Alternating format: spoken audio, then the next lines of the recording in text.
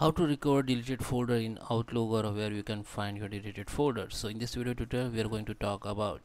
So guys let's start with the video. Before starting i request you if you like this video hit the like button subscribe my channel and don't forget comments below.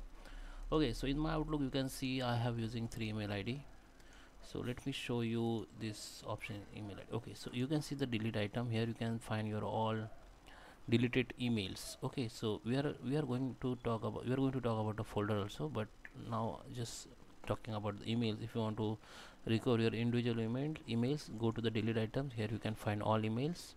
And if you delete from here also you can recover from here. Go to the recover delete item from server and here you can find your all deleted items. Just select and you can uh, restore it. Just click on restore it. Okay from here you can uh, move it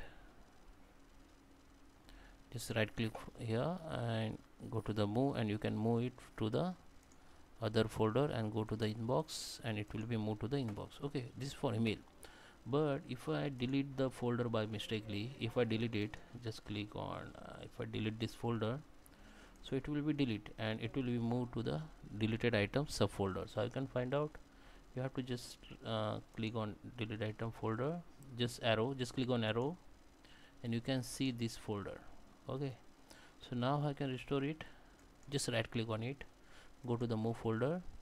Just select the email ID where the you want to restore and just click on OK so guys that is how you can restore the deleted folder in Outlook. I hope you like this video. Please subscribe me. Thank you for watching